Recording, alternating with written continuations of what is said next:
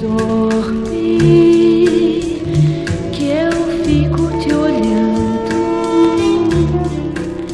e só durmo quando